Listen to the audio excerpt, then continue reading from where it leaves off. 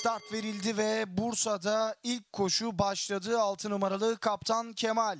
Henüz kulvarından çıkmadı 6 numaralı Kaptan Kemal koşuya başlamadı. 8 numaralı Okçu Bey de 2,5 boy kadar oyalandı çıkışta.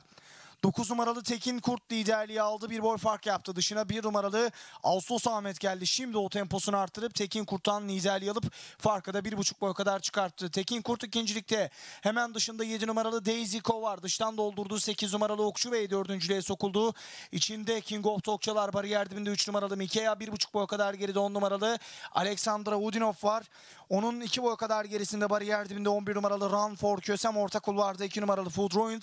Onun dışında ise 4 numaralı Desert Tiger var. 1400'e girildi. 1 numaralı Ağustos Ahmet lider. Fark 1 boy. 7 numaralı Daisy Co. ikinciliğe sokuldu. 9 numaralı Tekin Kurt. Üçüncülükte. Dördüncülükte izlediğim Safkan 5 numaralı King of Tokçalar. Onun dışında 8 numaralı Okçu Bey var. Bariyer dibinde 11 numaralı Run for Kösem. Daha sonra 3 numaralı Mikea. 1,5 boy kadar geride 10 numaralı Alexandra Udinov. En dışta 4 numaralı Desert Tiger. 1,5-2 boy kadar geride ise 2 numaralı Food Ruin sırasıyla son bine girdi Safkanlar. Bir numaralı Ağustos Ahmet liderliğini koruyor. En dıştan 4 numaralı Desert Tiger ikinciye sokuldu. Ortada 7 numaralı Daisy Co. 1,5 boy kadar geride 9 numaralı Tekin Kurt. Dışında 5 numaralı King of Tokçalar. En dışta 8 numaralı Okçu Bey. 2 boy kadar geride 10 numaralı Alexandra Udinov. içinde 3 numaralı Mikea.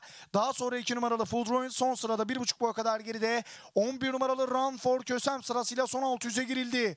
3 boy farkla liderliğini koruyor 1 numaralı Ağustos Ahmet. 7 numaralı Daisy Co. Tekrar ikinciye sokuldu.